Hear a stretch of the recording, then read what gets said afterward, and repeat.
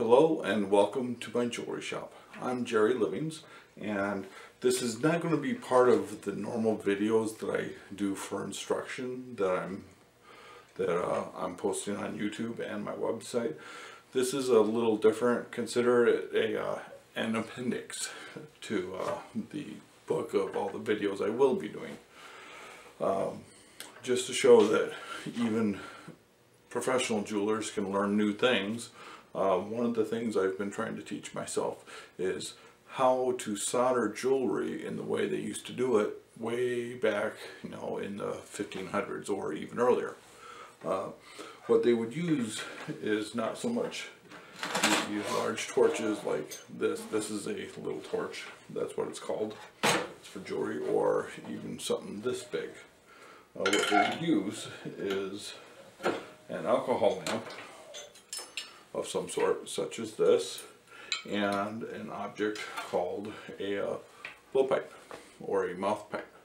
Basically, it's a little thin tube with the end crimped almost shut that you can blow air through the alcohol flame and use this to actually solder your items.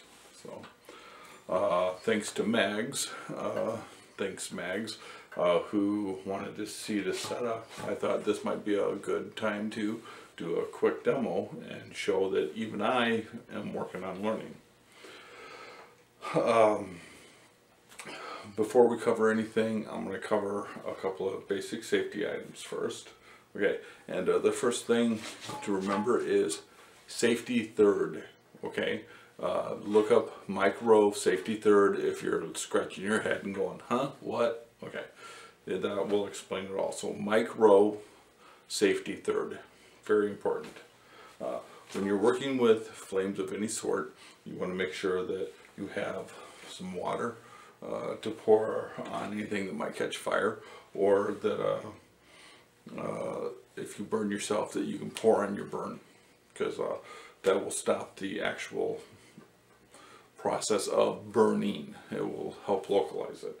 Uh, also, you want to make sure that you have a fire extinguisher nearby at all times uh, because you never, never know. Uh, it's the one time you're not prepared is when things can go horribly wrong. So, uh, I'm going to uh, show you what I'm going to do. Uh, what I have is a bunch of jump rings made out of copper and I'm going to be soldering those and I'm going to show the process of soldering a couple three of those and I will talk our way through that also. Welcome to my bench again. Uh, we're getting ready to do some soldering. Uh, one thing I want to cover is the fuels and the tools I'm using. Uh, one thing that will come in handy is a uh, soldering pick. Hopefully not quite as burned as that one. Uh, you can make one out of any piece of coat wire, uh, coat hanger wire. I'll be using tweezers quite a bit, and that's another pick. A charcoal block, alcohol lamp, of course my blowpipe, and I'll be using two types of uh, flux. I'll be using borax, it's just mixed with a little alcohol, and I like to grind it in a pestle so it's a really nice uniform size and keeps it well stirred as I'm doing it. Uh, but that goes underneath so anything that drops doesn't fall in there. Uh, and then uh, I will also be using a modern flux. This is something I get from Rio Grande. Oh boy, it's for Goldsmiths. I have the bottle here somewhere, but I cannot remember the brand. But it's just a basic flux for jewelers. Um, okay, uh, I have a little tray here with all my stuff in it. So, and I've already done a couple of these, so I have the process down a little bit, I think.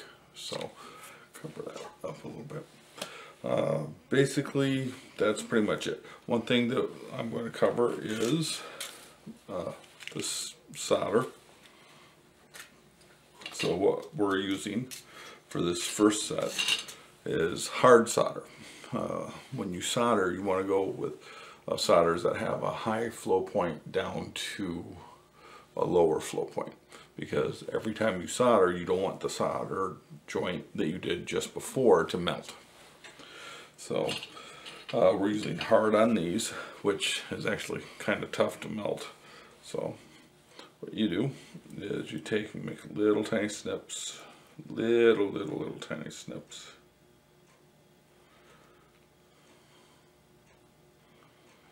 Uh, in your solder sheet. Now when I say hard, easy, or medium with solder, what I'm talking about is um, how fast do they flow, what temperature do they flow. The hard is going to be at the top, it's going to melt at the highest temperature and it's going to flow at the highest temperature. The easy is going to be, of course, at the bottom.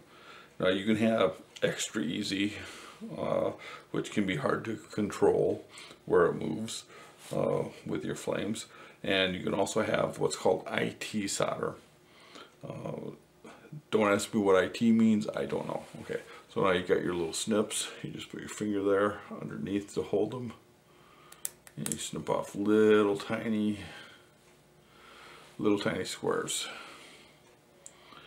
Like one, uh, you want them to be anywhere from one to two millimeters square. And yes, that's very small. Okay. So you put your shears down and you put your solder away right away back in your container so you don't lose track. Now one thing, if you take and drop some of your, uh, if you drop some of your uh, uh, solder, like a one of the little chips, do not go hunting for it. Just consider it gone and lost. If you find another one, because you, you don't know when you drop it if you're going to pick up another one and what temperature that is. And that can ruin your whole thing. Okay. Also, when you're lighting alcohol lamps, either use something piezo like this for the torch. So you get the little, little piezoelectric thing going there. It's like a barbecue starter. That's for torches and gases. For alcohol lamps, I would recommend a wood match like this, or you know, a book of matches, or a Zippo lighter with where you fill it with a fuel. Do not use the butane lighters. Uh, they have gas in them. They can explode. Uh, I keep hearing of accidents where that has happened, but I've never personally experienced that. So better safe than sorry. Let's assume that those stories are all true. So you light your gas alcohol lamp, which should have covered, but I had it uncovered because I was, I had it uncovered because I was using it earlier. Okay, now uh, we have the alcohol flame going. So what we need to do is we're going to set this here. Use the tweezers. We're going to grab out one of our uh, little jump rings that we have sitting in the alcohol. And we're going to figure out where. Let me go grab a loupe because I'm getting old and blind and I cannot see where my uh, joints are, especially when there's stuff. So you look and go, ah, there's the joint. Almost grabbed it with the tweezers. Put that there.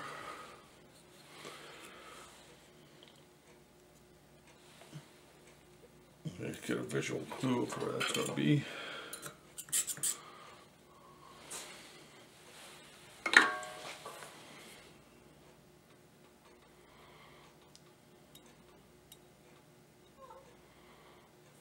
Uh, you use your poker, which I can't use my poker to pick up squat right now.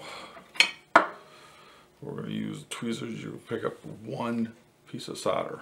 One. Uh, and actually, I don't know what I did there, but that's obviously more than one because sometimes they'll fold over on you when they're damp and you'll pick up a couple. So put that one back and pick up another one.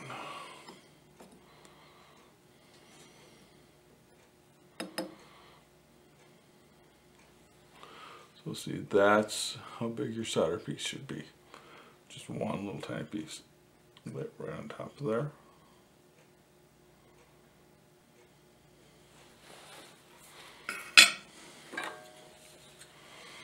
Give it a look and make sure it's sitting over the top of the joint. Now for the fun part.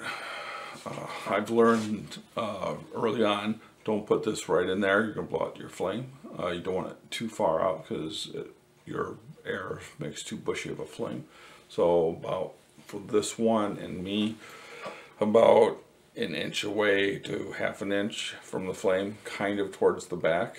So uh, this is about even, so I want it to be back a little bit behind the flame, kind of going, coming down and angle through.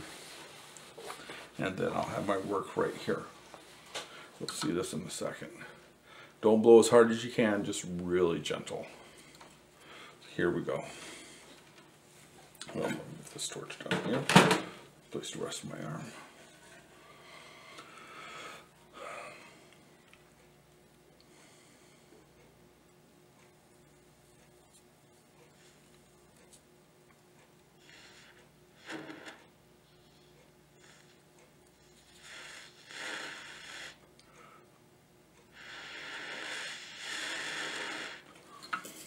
Okay, this is where I'm going to use the modern flux.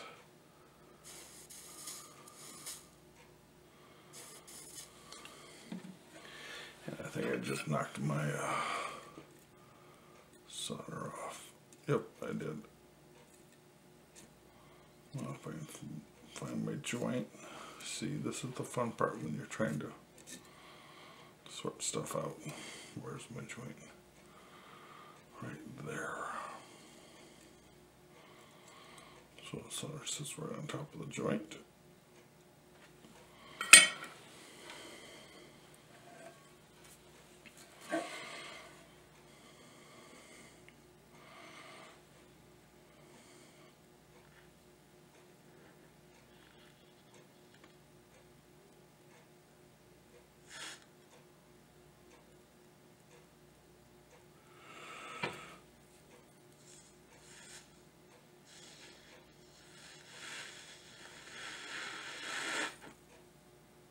There we go.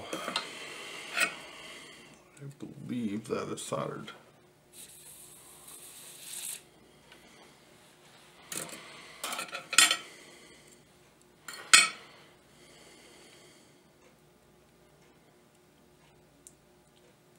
And I'm completely wrong, that is not soldered.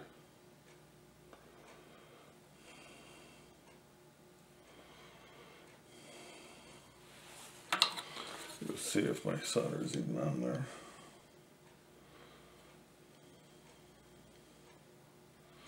Yep, uh, it went off to one side, so.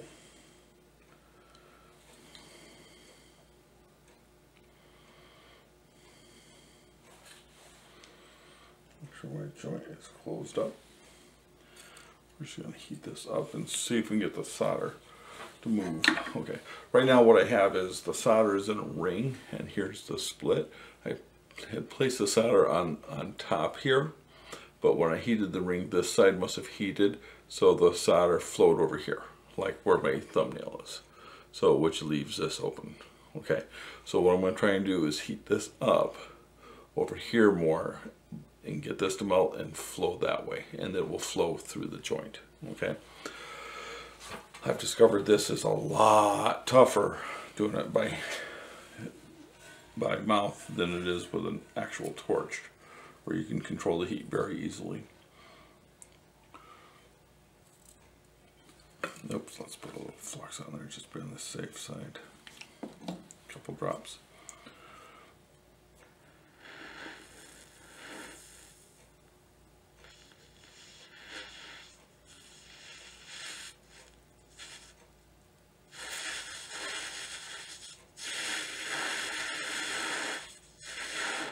There, I saw something flash.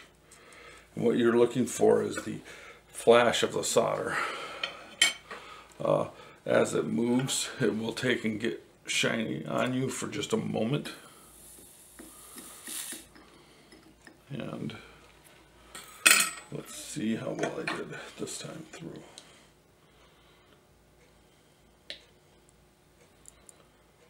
And that, friends, is a soldered joint.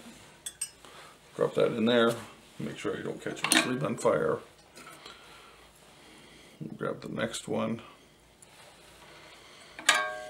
Find out where the joint is.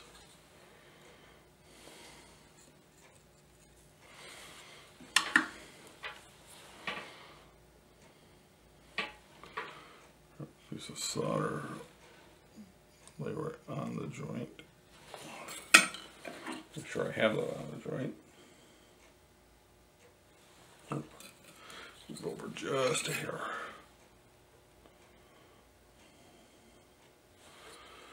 Now when I'm usually soldering, I'm using a flame a lot smaller than this, so I can have my visors on and I'm right in there. And the flame goes in one direction, it's not going up and then down, up and down. So, we're gonna put a drop of solder on with the borax. Try to get this one to go quickly.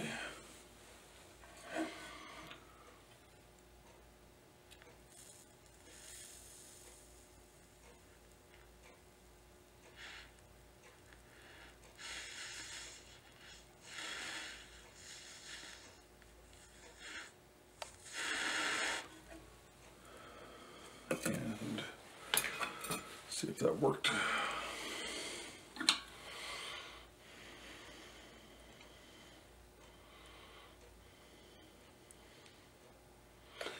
That's all there is. That's another one.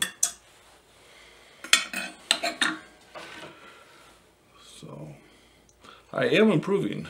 The first one I did, which was this large jump ring, uh, took me about 20 minutes to do. So I am improving quite a bit. Let's see where the joint is. Yeah, I've got bifocals, but the vision is getting blurrier and blurrier as blurrier, I guess you would say, more blurry as I get older. So, one, one chip of solder, if I can find it, there it is.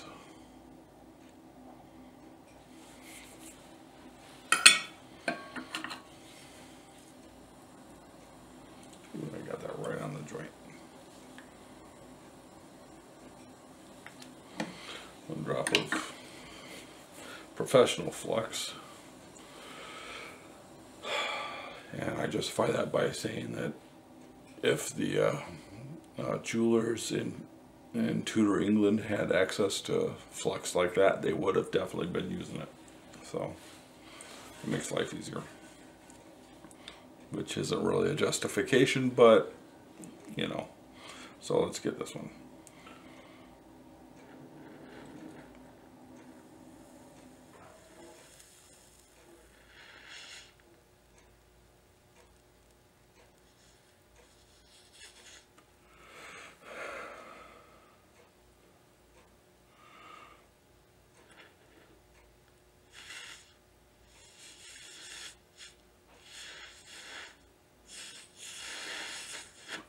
There. Melted. Let's see if it went in the right direction though. Yep. And it is very soldered. Let's do another one.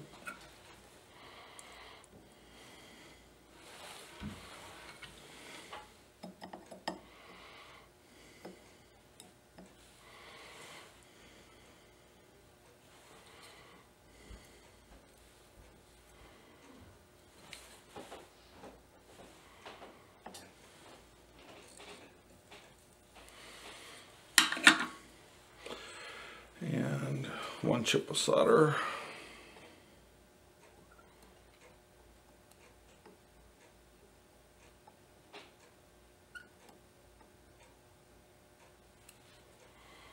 Did I drop that? I dropped it somewhere.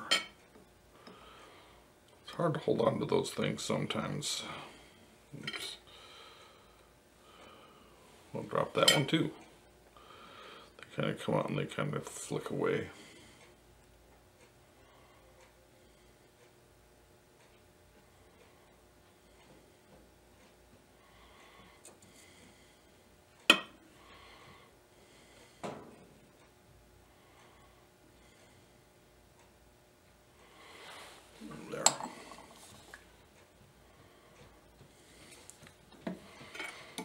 Guess we can get this one.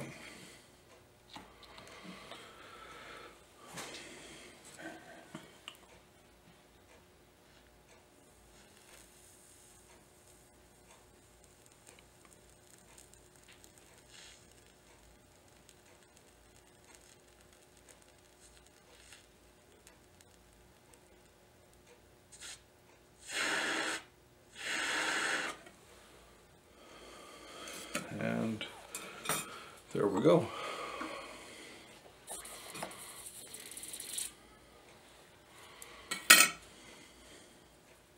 Double check, make sure our joint's okay. Yep. And we just dump that in the pickle. Now when we're done, you want to make sure you always close your source of flame up. And uh, make sure your flux is covered. Make sure anything with alcohol in it uh, has a cover. And you wait around to make sure that your block cools off. It'll, uh, depending on what you're soldering and how much you're soldering, uh, cooling your charcoal block off can take upwards of you know 20 minutes. So they normally don't keep burning. If they keep burning and having little glowing embers, then you want to put some moisture on there uh, to uh, settle that down. So, uh, and there you have it. That is soldering several jump rings. Uh, pull my little pickle real quick. Okay. And this is a very, I keep my pickle uh, very, very weak. I rely more on the heat than the uh, acidicness of my pickle to remove flux. Make sure I got nothing left in there. Nope. And uh, give me a paper towel, which I just dropped.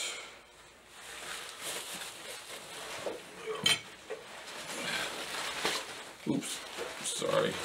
Sorry, Prush. Just scared my cat flipping the paper towels around. And uh, these are some of the ones I did now and some of the ones I did earlier. But there you go. Jump rings all ready to uh, solder together. So what I will do now is I will take a different size of jump ring between each of these. Something that's a little more oval and join each one into a bracelet. Thank you very much for watching my little demo here, my little appendix. And uh, we'll be uh, looking forward, I'll be looking forward to uh, having you watch my videos later. Thank you very much.